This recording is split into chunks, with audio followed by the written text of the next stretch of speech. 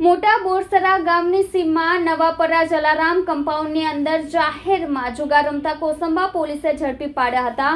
પોલીસે કુલ રૂપિયા એક પોઈન્ટ સત્યાવીસ લાખનો મુદ્દામાલ કબજે કરી બાર જુગારીઓની ધરપકડ કરી હતી. મોટા બોરસરણા ગામની સીમમાં નવાપરા જલારામ કમ્પાઉન્ડની અંદર જાહેરમાં જુગાર રમતા કોસંબા પોલીસે ઝડપી પાડ્યા હતા. પોલીસે કુલ રૂપિયા એક પોઈન્ટ સત્યાવીસ લાખનો મુદ્દામાલ કબજે કરી બાર જુગારીઓની ધરપકડ કરી હતી.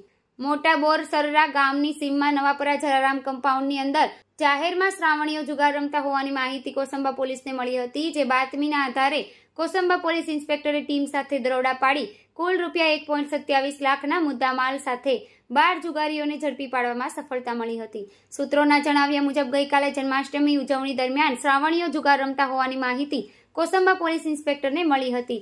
જે અનુસંધાને પોલીસની અલગ અલગ ટીમ બનાવી બતાવેલી જગ્યાએથી બાર જેટલા જુગારીઓને ઝડપી પાડી કુલ રૂપિયા એક પોઈન્ટ સત્યાવીસ લાખનો મુદ્દામાલ કબજે કર્યો હતો.